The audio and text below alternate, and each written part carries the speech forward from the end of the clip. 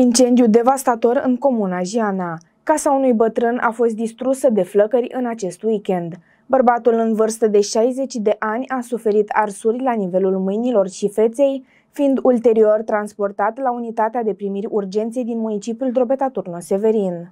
Un incendiu uriaș a cuprins ieri o casă și o anexă din localitatea Dănceu, județul Mehedinți. Focul a pornit în urma exploziei unei butelii. Mai multe echipaje de pompieri s-au mobilizat de urgență. Locuința era unui bărbat în vârstă de 60 de ani care a suferit arsuri ușoare. Timp de două ore, salvatorii s-au luptat pentru a salva construcția. Incendiul ar fi pornit după ce bărbatul a verificat dacă butelia are scurgeri de gaze cu ajutorul unei flăcări. În cursul zilei de sâmbătă, două echipaje de pompieri din cadrul stației Vânjumare au intervenit uh, în localitatea Dânceu pentru stingerea unui incendiu ce s-a manifestat la o anexă gospodărească și o casă de locuit care formau un corp comun.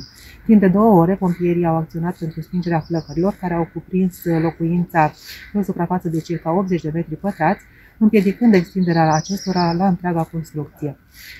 Paramedicii SMORD au acordat primul ajutor unui bărbat în vârstă de circa 60 de ani care a suferit arsuri superficiale la nivelul feței și mâinilor, ulterior acesta fiind transportat la unitatea de primul urgență din Drogetatul Severin. Cauza probabilă de izbunire a incendiului a fost determinată de uh, folosirea flăcării pentru verificarea etanșeității buteliei. Pentru a preveni producerea unor tragedii ca urmare a nerespectării măsurilor de apărare împotriva incendiilor de către cetățeni, le reamintim acestora că verificarea buteliilor se face doar cu emulsie formată din apă și săpun, fiind interzisă folosirea flăcării.